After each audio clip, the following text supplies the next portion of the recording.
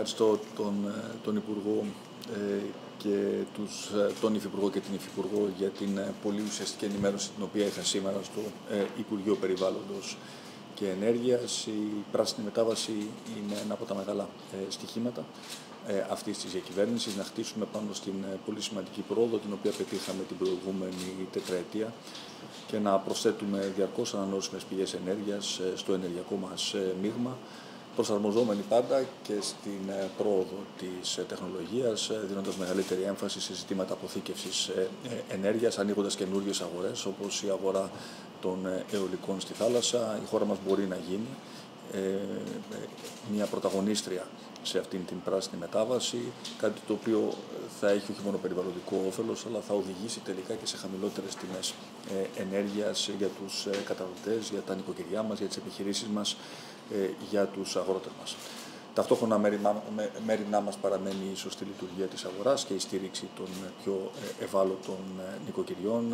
Οι πολίτες γνωρίζουν ότι η κυβέρνηση αυτή στάθηκε δίπλα τους όλο τον τελευταίο χρόνο και απέκτουσε στην πράξη τις μεγάλες διακυμάνσεις στην τιμή της ηλεκτρικής ενέργειας και αυτό είναι κάτι το οποίο θέλουμε να εξακολουθούμε να το κάνουμε για το αμέσως επόμενο διάστημα.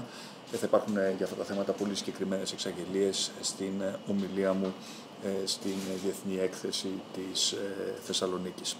Ταυτόχρονα προφανώς συζητήσαμε για τα θέματα της προσαρμογής στην κλιματική αλλαγή, μια αρμοδιότητα η οποία μοιράζεται μεταξύ του Υπουργείου Περιβάλλοντος και του Υπουργείου Κλιματικής Κρίσης και Πολιτικής Προστασίας.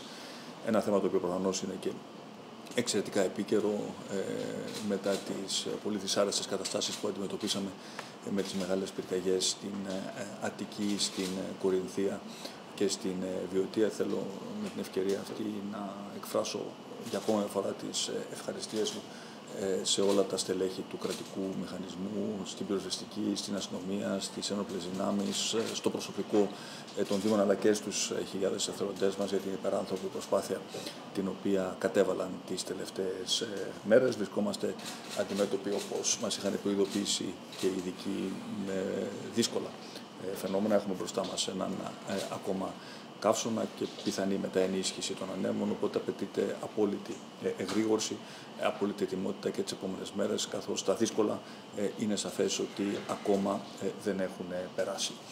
Θα έχουμε την ευκαιρία σύντομα να κάνουμε και συγκεκριμένες εξαγγελίες ε, ως προς τη δασκή μας πολιτική, όπου θέλω να τονίσω ότι τα τελευταία χρόνια έχει γίνει μια σημαντική δουλειά με ε, πιο τολμηρή θα έλεγα παρέμβαση, μεταρρύθμιση, τη μεταφορά της αρμοδιότητας των δασικών υπηρεσιών στο Υπουργείο Περιβάλλοντος από τις αποκεντρωμένες διοικήσεις. Αυτό μας δίνει ε, μια πολύ καλύτερη εποπτεία της δασικής πολιτικής, την οποία θέλουμε να ασκήσουμε από εδώ και στο εξής.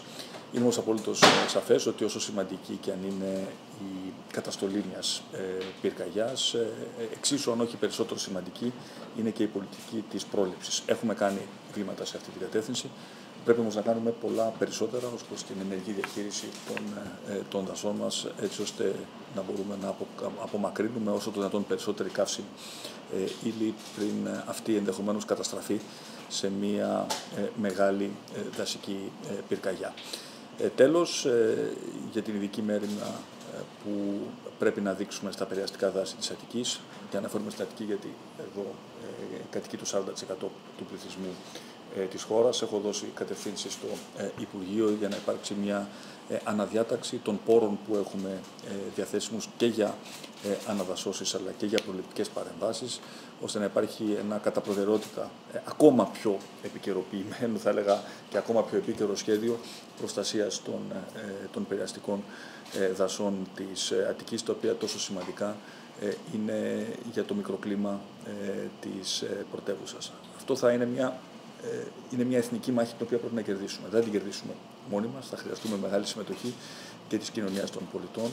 Θα χρειαστεί να τολμήσουμε με πιο καινοτόμες ε, ε, λογικές διαχείριση, πιο τολμηρής, θα έλεγα, επιθετικής διαχείρισης ε, των δασών μας που ενδεχομένως στο παρελθόν ε, να έβρισκαν αντιστάσεις. Τώρα όμως έχει ε, έρθει η ώρα να κάνουμε αυτά τα βήματα. Θα αποτελέσουν αντικείμενο ξεχωριστών παρουσιάσεων και προτάσεων από το Υπουργείο Περιβάλλοντος που θα πηγαίνει πέρα από τα προφανή τα οποία πρέπει να γίνουν, την, την αποκατάσταση των καμένων ε, περιοχών, την ε, αποφυγή πλημμυρικών φαινομένων και φυσικά την πολύ γρήγορη ε, αποζημίωση των ε, συμπολιτών μας ε, οι οποίοι επλήγησαν σε αυτές τις πυρκαγιές. Εξακολουθεί να ισχύει στο, ακέραιο, στο ακέραιο η ιεραρχία την οποία η κυβέρνηση έχει θέσει στην αντιμετώπιση κάθε δασικής πυρκαγιάς. Πρώτα και πάνω απ' όλα η προστασία της ανθρώπινης ζωής, αμέσως μετά και η προστασία του ζωικού μας κεφαλαίου, των, των ζώων μας, προστασία της περιουσίας, η προστασία των κρίσιμων υποδομών